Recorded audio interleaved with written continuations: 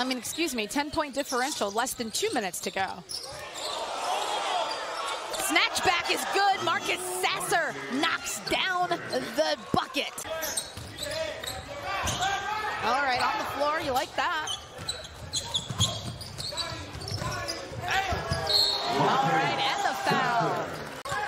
That was a nice pass there. That, that's another skill set that your bigs have to have. You got to be able to play facing the basket.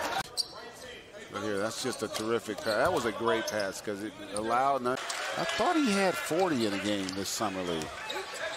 Oh, that was in Utah. Okay.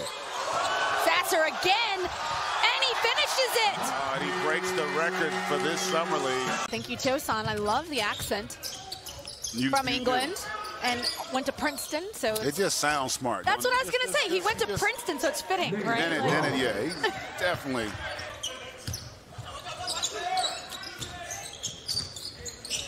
Uh-oh. Try to go behind the back. Sasser there to break it up and to finish in transition. And remember that how much the Pistons struggled early offensively. Now they're 95 they've been able to put on the board in part because of that guy Goodness. right